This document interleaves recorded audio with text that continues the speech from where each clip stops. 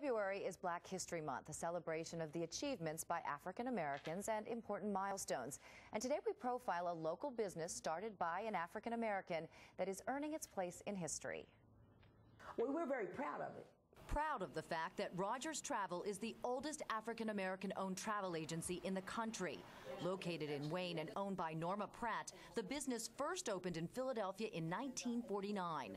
Founder Harold Rodgers learned the ins and outs of the travel industry while working as a porter for TWA. It was that airline that helped him get the business off the ground.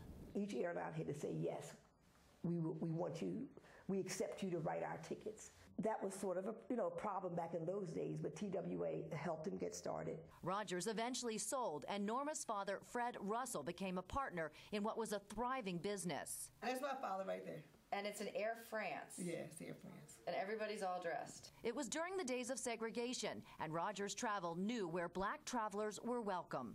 We knew what hotels would accept us and what did, what black people would be interested in doing, what cab companies or whatever that country happened to be about, so that our people would not be made to feel uncomfortable anywhere.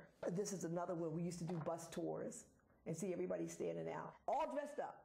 Rodgers Travel had a lock on the market our customers wouldn't even go to a, a, a, white travel agency. That's one thing. Segregation for businesses in the African American community was pretty good.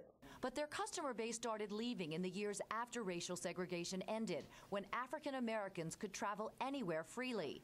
The advent of the internet also grounded profits, but Norma Pratt, like her predecessors, was able to make the transitions necessary to survive the changing times.